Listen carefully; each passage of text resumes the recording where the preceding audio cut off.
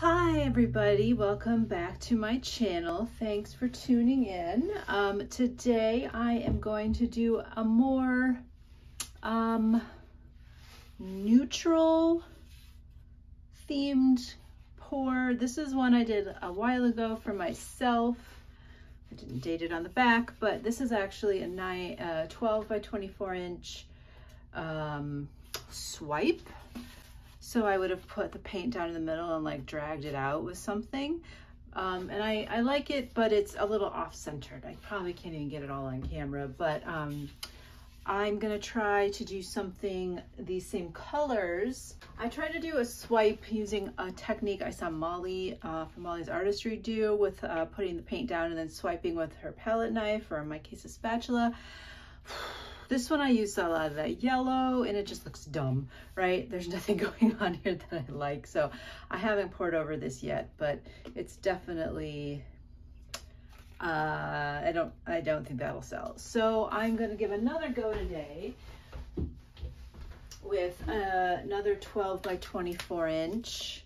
Got big canvas here. Probably won't even all show up on screen, but I'm going to do a Dutch pour with browns, golds, and uh, yeah, so I'm gonna mix up my paint now. What I need is another dark brown. I don't have those in squeezy bottles, so I'm going to make just a little bit because whenever you Dutch pours, you don't need that much paint as your accent color. So I'm gonna try to make the smallest amount I can, so I always end up with extra.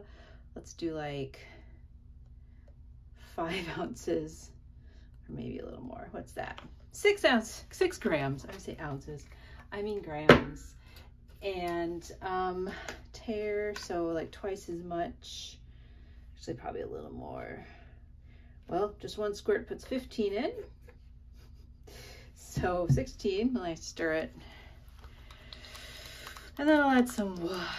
So you can see this, the browns, um, clumpy. Ugh might not look right. So you gotta give them a really good stir. And I'm just gonna squirt a two water in there and that'll help it uh, combine. This is more of a chocolatey brown burnt umber. I think I also have burnt raw umber to go.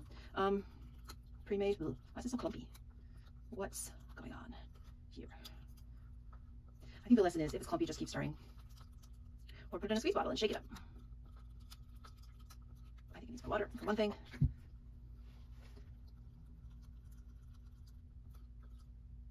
I like my squishy cups. Squish.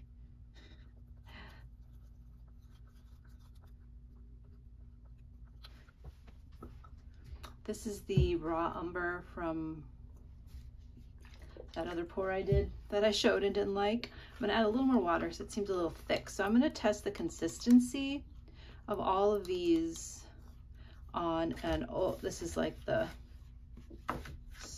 a heavy paper that comes on the with the canvases. So let's do a little drip test. Um, just gonna do a dot, like try to get the same amount of paint on for each. That's like a really ugly brown, no offense. If you like that brown, I don't. I don't like that brown. Um, I can use less of it.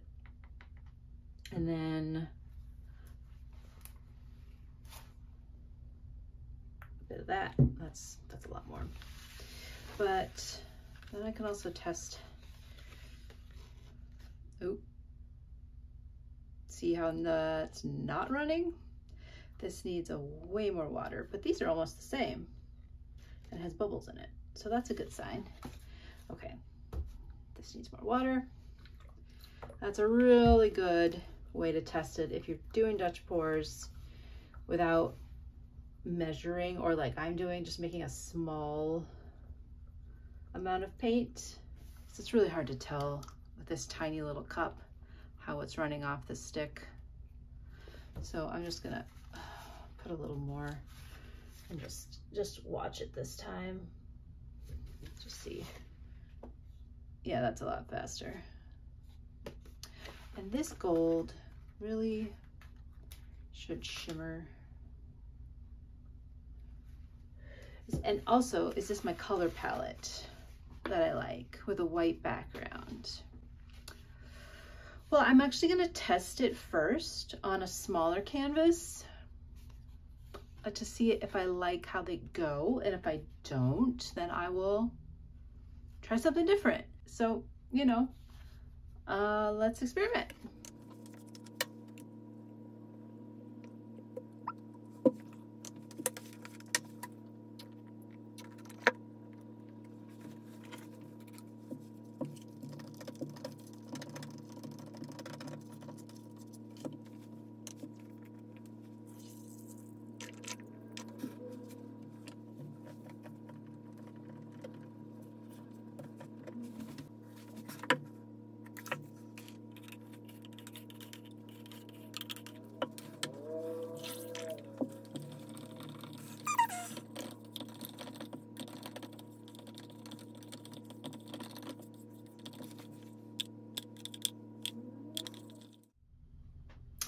So you saw me mix up my white paint. The cup I started in was too small.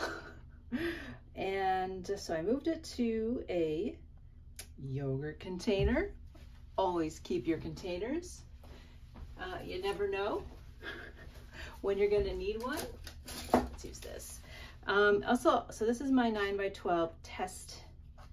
Let's see, I can also like decide if this had enough water.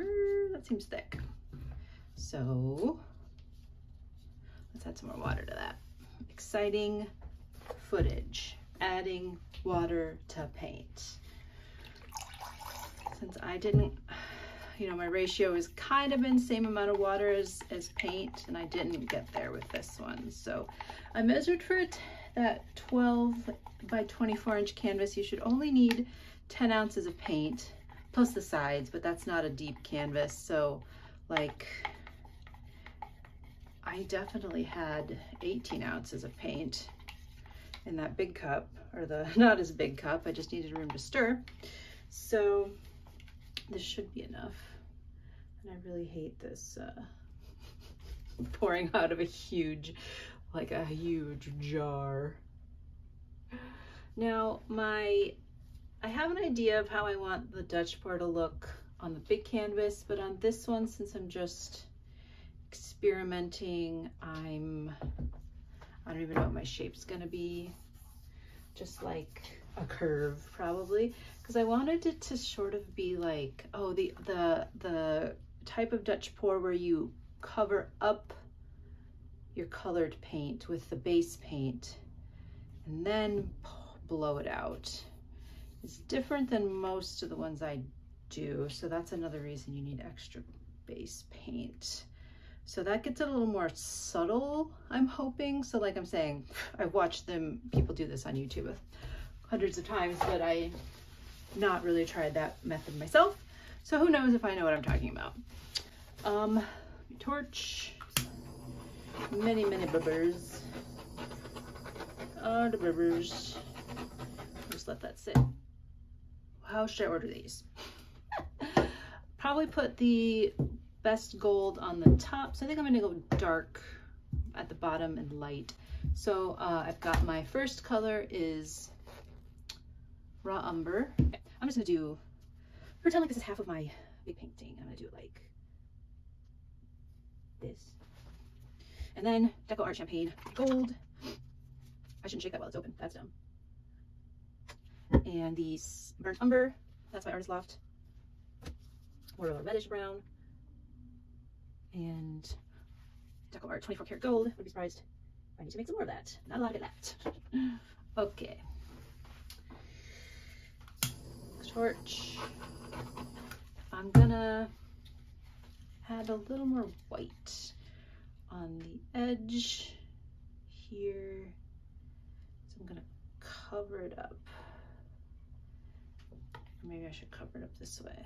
This is why I'm practicing. If you don't know what you're doing, don't use your big expensive canvases. Or your practice trials. Although if I don't like it, I can always paint over it. That's what I tell myself. So here's my little travel hair dryer that I always use, the Flower Power. So I'm gonna put the white over it and then blow it out. I'm gonna turn it this way. I think I did.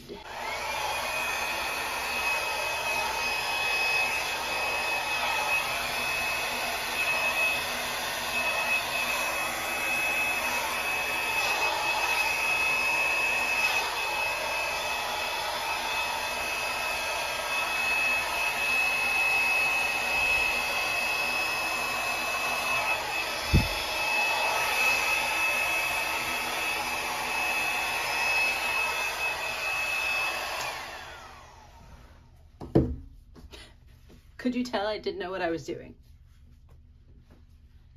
But I like, I think that, that turned out. This is, um,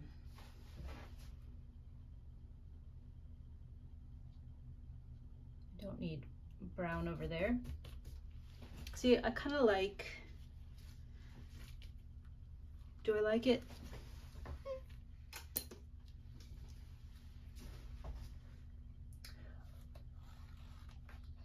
Okay.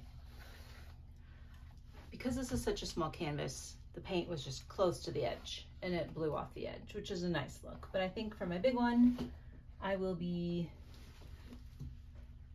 not getting it a close. I will maybe stop like two or three inches away from the edge so we don't lose kind of that petal shape.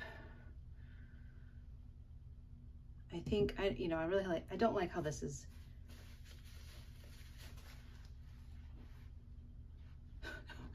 I don't know how to describe it. It's it's obviously not equal. It's uh, not symmetrical, but I like this.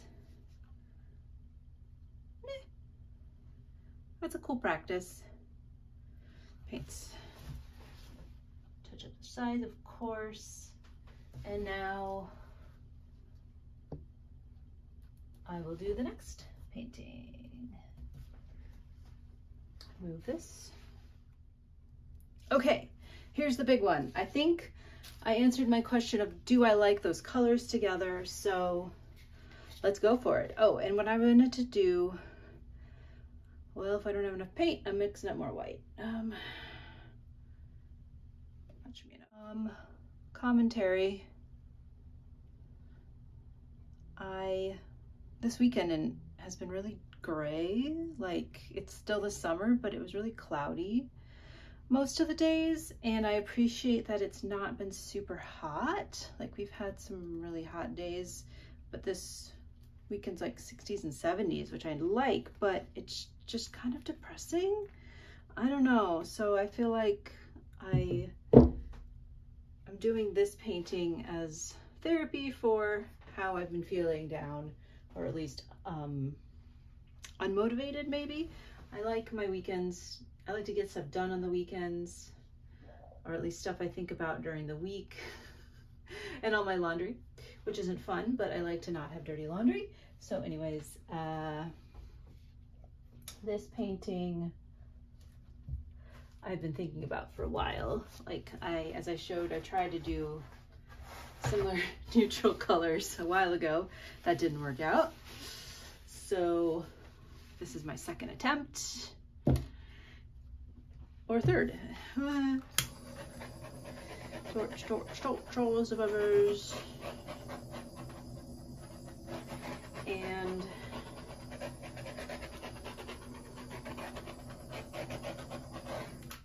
make such a mess. Now what were my, what was my order? Okay, I should have measured this. Whoops. Right, what was I doing? Who can remember? Okay, this is like the middle, I think. And then, it doesn't really matter, this way, this way. Maybe it's because I'm right-handed.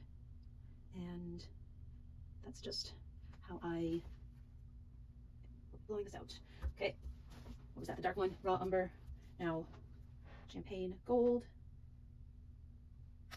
And now, burnt umber, or sienna, I don't know, sienna. And, leaking. The other metallic 24 karat gold, should make lots of cells. All right. Should I try? I've got, this is my old gold. I'm just gonna put like a dot here and there and see if you can even tell. Little bonus. Surprise. Okay. I didn't see any bubbles. Those paints are mixed up already. Now, oh, blow over, right. I added more and that didn't work great. Toward the inside of the curves. Use up this white at least. This is the old Cursed Artist Loft. Oh, that didn't give me that many cells. Weird. Okay. Here goes nothing.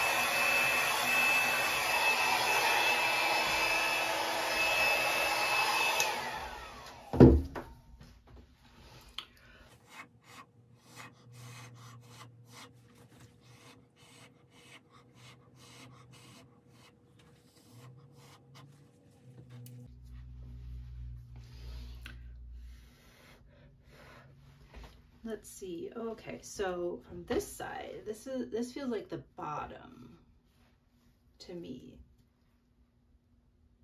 Should I blow more out in the middle? I kind of wanted it more tapered in the middle, but it didn't end up that way. So what does it matter? I kind of think I want more cells there.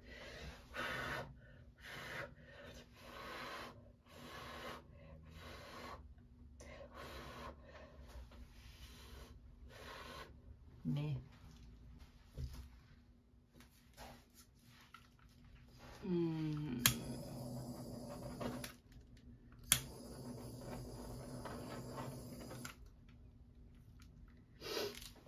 What do you think? I blew it out a little more in the middle. Um, I think I'm gonna do um, the swirlies like I've done on my other Dutch pours recently. Kind of gives it more, um, puts all these, gives all these tendrils somewhere to go. Um,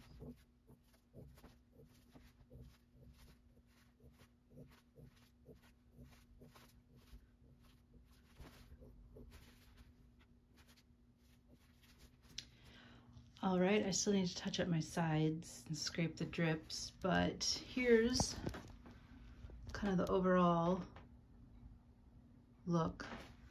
And like I said, I like this is the bottom because it's more heavy and wide, but also kind of subtle like this white, just kind of really not much, but then over here it's really heavy. We get a lot of metallics coming through there, kind of up through the middle, lots of browns, and then some cells, and then the big sploosh at the top. I kind of blew that over the edge. So I think it's kind of cool. I might do this different in the, in the next time because I didn't get enough white on top of it, so it kind of turned out weird, but I like other parts of it. Here are the finished dried Dutch pours on my kitchen living room floor. Let's see the big one at the bottom. I put it in the sun, you won't be able to see the dark, but yeah, lots of metallic. Crazy, it looks like a spine. Doesn't it look like a spinal column? Maybe I should give it to my chiropractor. And the dope all the way down.